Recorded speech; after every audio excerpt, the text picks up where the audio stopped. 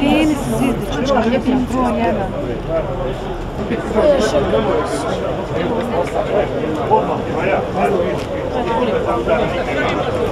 Jes našao Nine, kom je još prošao? Ina. Nije niko. Evo,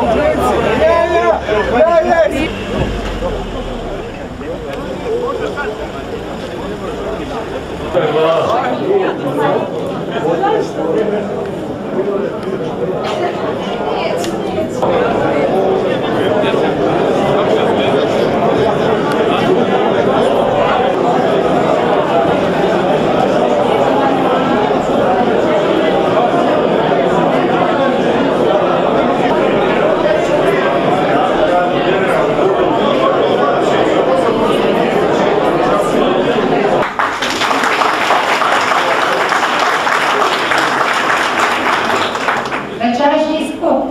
Posvećen je promociji kandidata Stranka demokratske akcije za člana predsjedništva Bosne i Hercegovine demokratske akcije jer jedinstvo je snaga.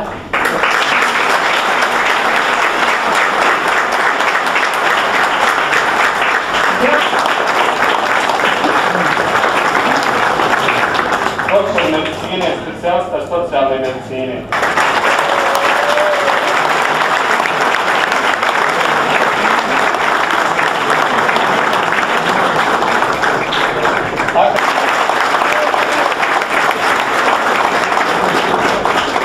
Pravni fakultet, fakultet sporta i telesnog odgoja završio u Sarajevu. Specijalističke studije iz oblasti prava završio u Washingtonu. Magistar krivičnog prava na doktorskom studiju. Dugogodišnji član SDA, predsjednica mjesnog odbora Trka Joja.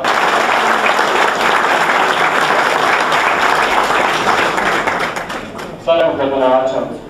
A građani je pamte po tomu što je za njenog mandata izgrađen olimpijski bazen otoka, izgrađeno spomen obilježje ubijenoj djeci opaljenog Sarajeva 92-95, a značajno je reći da je zasluga za sakupljanje pripremne dokumentacije i obezbeđivanje dijela novca i početak radova na restauraciji Sarajevske vječnice.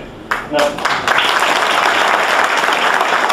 Gospodin Kovačević kaže, vam prije svega potekne jednom osobnije zapošljavanje stanovništva.